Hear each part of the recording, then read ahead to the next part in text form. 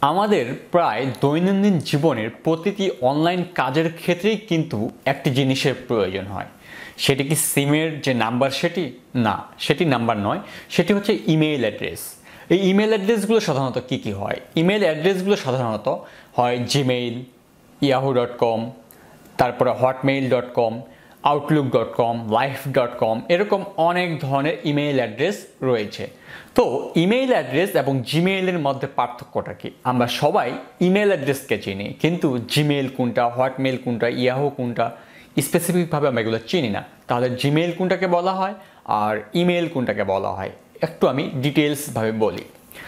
এই যে আমরা জিমেলের কথা বললাম ইয়াহো এর কথা বললাম হটমেইলের কথা বললাম, এগুলোকে সবগুলো মিলিয়েই বলা হয় ইমেইল অ্যাড্রেস আবার যখন আমরা স্পেসিফিকভাবে শুধুমাত্র জিমেলকে বলতে যাব, এই জিমেলকে সাধারণত বলা হয় এটি নিজস্ব একটি ডোমেইন দ্বারা।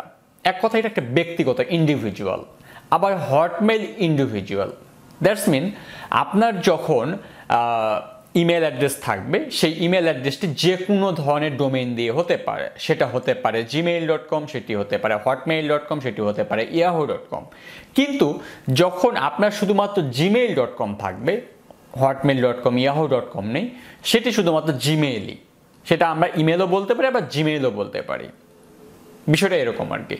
তো এক কথায় সবগুলোকে মিলেই বলা হয় হচ্ছে ইমেইল অ্যাড্রেস কিন্তু যখন স্পেসিফিকভাবে আপনি প্রত্যেকটি ইউজার সেক্ষেত্রে আপনার ফ্রেন্ড আপনার কলিগ অথবা আপনার যাকে আপনি ইমেল করতে যাচ্ছেন, সে যেটি ব্যবহার করে, আমরা সেটিকে বলব যে জিমেল অথবা ইয়াহো অথবা হটমেল অথবা আউটলুক সেটা যে কোনো হতে পারে।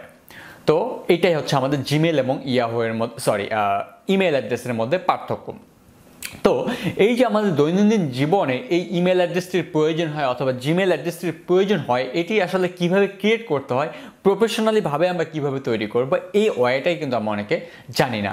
তো আজকে আমার এই ভিডিওতে আমি খুব সুন্দরভাবে ডিটেলসভাবে দেখাবো যে আপনি কীভাবে খুব সহজে একটি ইমেল অ্যাড্রেস আপনি খুলতে পারেন এবং সেটি আপনি দৈনন্দিন কাজে আপনার ব্যবহার করতে পারেন। তো hello viewers this is Shine from F S technologies with another new video তো চলুন আমাদের ভিডিওটি শুরু করা যাক। তো জিমেল অ্যাড্রেস খোলার জন্য আমি যে ডিভাইসটি ইউজ করব সেটা হচ্ছে একটি অ্যান্ড্রয়েড ফোন আমি অ্যান্ড্রয়েড ফোন থেকে কীভাবে ইউজ করতে হয় অথবা আপনারা সেম প্রসেসেই ল্যাপটপ অথবা পিসি থেকেও করতে পারবেন। তো আমি অ্যান্ড্রয়েড ফোন থেকে দেখাচ্ছি, কারণ যেহেতু অ্যান্ড্রয়েড ফোন আমরা সবাই ইউজ করে থাকে। তো আমি অ্যান্ড্রয়েড যে ডিভাইসটি সেটি আমি আমার হাতে নিয়েছি। হাতে নেওয়ার পর আমরা সর্বপ্রথম যেটা করব, আমাদের যে প্লে স্টোর সেই প্লে স্টোরে চলে যাব। এরপর সার্চ বারে গিয়ে আমরা জিমেল লিখে সার্চ করব। এরপর জিমেল লিখে সার্চ করার পর দেখেন এটা কিন্তু অলরেডি ফোনে ইনস্টল করে দেওয়াই থাকে। যখন আপনি নতুন ফোনটি কিনবেন, সেই ফোনে কিন্তু কিন্তু এটি ইনস্টল করে দেওয়া থাকে। তো এটি অনেক সময় আপডেট থাকে না। যার কারণে আমি সার্চ করলাম। দেখেন, আমি যখন জিমেল লিখে সার্চ করলাম, এই ধরনের একটা আইকন আপনাদের সামনে চলে আসবে এম এর মতো। আসার পর এই যে আমার এখানে অফেন লেখাটা আছে, এই অফেনের এখানে আপনাদের থাকতে পারে আপডেট তো অবশ্যই সেটি আপডেট দিয়ে নেবেন। কারণ ডে বাই ডে প্রতিনিয়ত কিন্তু সফটওয়্যারগুলো অ্যাপগুলো আপডেট দেওয়া হয়। অথবা আপনি যদি আপডেট ভার্সনটি ইউজ করেন, তাহলে অনেক নতুন নতুন ফিচার কিন্তু আপনি সেখানে পাবেন।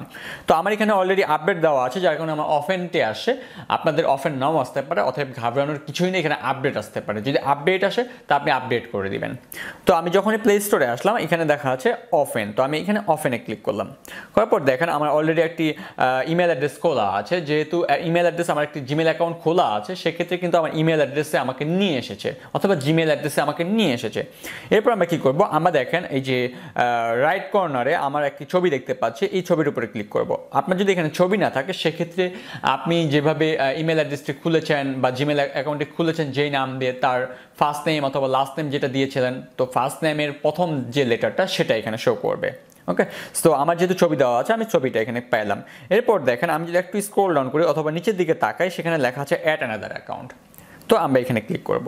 তো আপনার যদি ইমেল অ্যাড্রেস না থাকে অথবা জিমেল অ্যাড্রেস না থাকে, তাহলে আপনার এই ধরনের কিন্তু আসবে না। সেখানে ডাইরেক্ট লেখা থাকবে ক্রিয়েট নিউ অ্যাকাউন্ট কথাটা বুঝতে পারছেন? সেখানে লেখা থাকবে ক্রিয়েট নিউ অ্যাকাউন্ট তো আমার যেহেতু জিমেল অ্যাড্রেস আছে, সে কারণে আমার ক্রিয়েট নিউ অ্যাকাউন্ট আসলো না, আমার আসলো অ্যাড নিউ অ্যাকাউন্ট তো আমি অ্যাড নিউ অ্যাকাউন্ট করার পর আমি দেখতে পাচ্ছি আমার এখানে লেখা এবার কয়েকটি জিনিস। সেটা হচ্ছে গুগল তারপর আছে Outlook Hotmail and Live Yahoo যেগুলো আমি আপনাকে বলেছিলাম।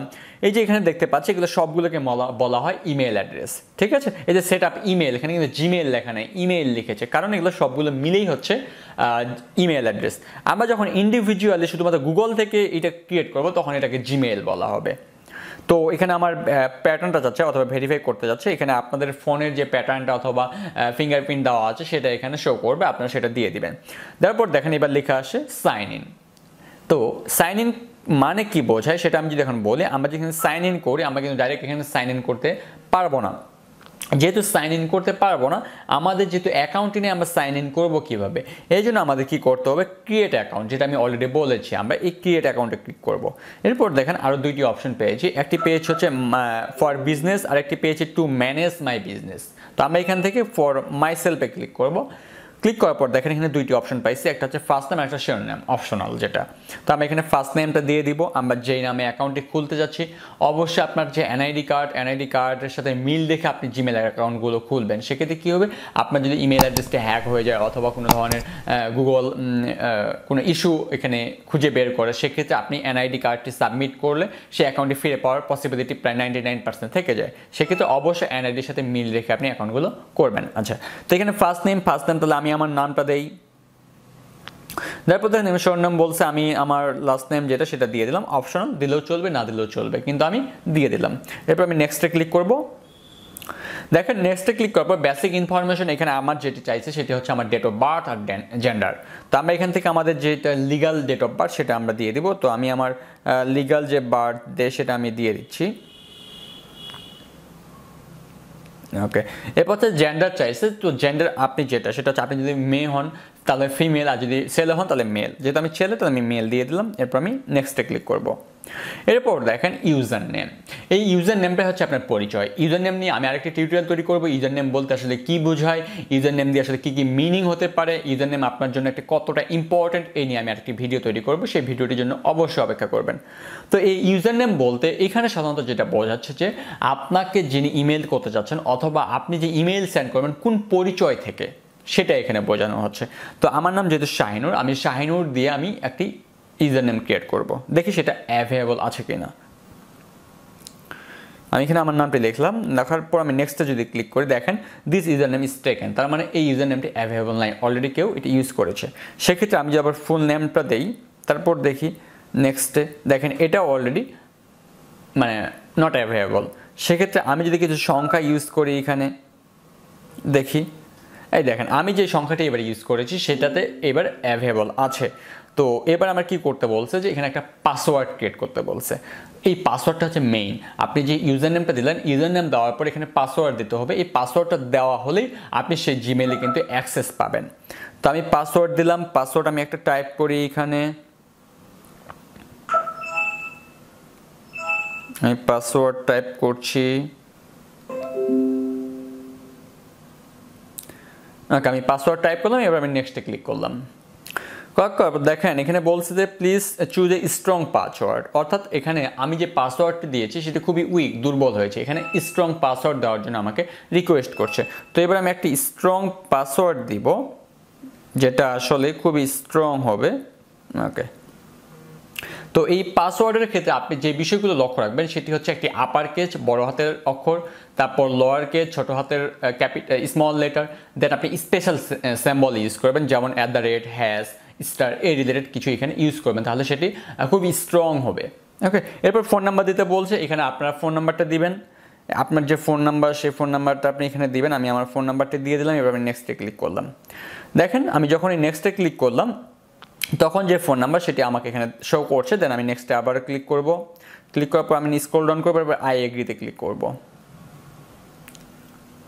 আই ক্লিক করলে আপনার যে গুগলের টার্মস অ্যান্ড কন্ডিশন সেগুলোর সাথে আপনি সম্মত। তবে আমি রিকোয়েস্ট করব এই যে আই এগ্রিতে ক্লিক করার আগে অবশ্যই আপনি গুগলের যে টার্মস অ্যান্ড কন্ডিশন সেগুলো পড়ে ফেলবেন। তাহলে আপনি কি কি অ্যাক্টিভিটিস করলে, কি কি ব্যবহার করলে বা কি কি না করলে অথবা কি কি করেছেন যার জন্য আপনার অ্যাকাউন্টটি ডিজেবল হতে পারে, এই সম্পর্কে আপনি একটা ডিটেলস ধারণা পাবেন।